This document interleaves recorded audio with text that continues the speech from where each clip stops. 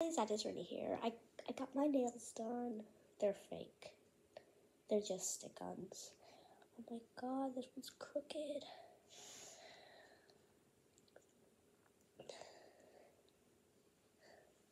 Please get me to 50 subscribers, please.